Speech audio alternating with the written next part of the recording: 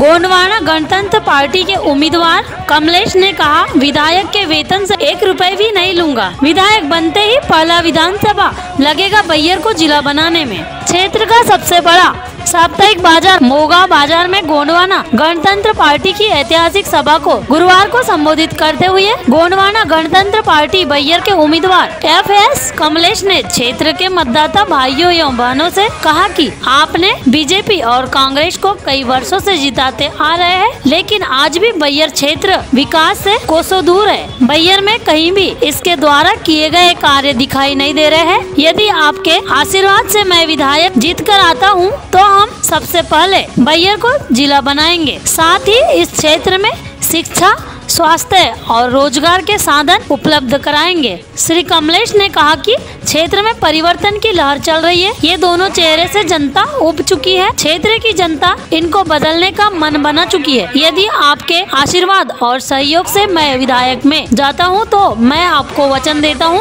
विधायक को मिलने वाले मूल वेतन में से मैं अपने लिए एक रुपए भी खर्च नहीं करूँगा। मेरा पूरा वेतन क्षेत्र की जनता के शिक्षा, स्वास्थ्य एवं रोज़गार के साधन उपलब्ध कराने में खर्च होंगे। साथ ही सबसे पहला विधानसभा लगेगा बैयर को जिला बनाने में। बी एन एन टाइम्स के लिए बालाघाट से दुर्गा शरणागत की रिपोर्ट।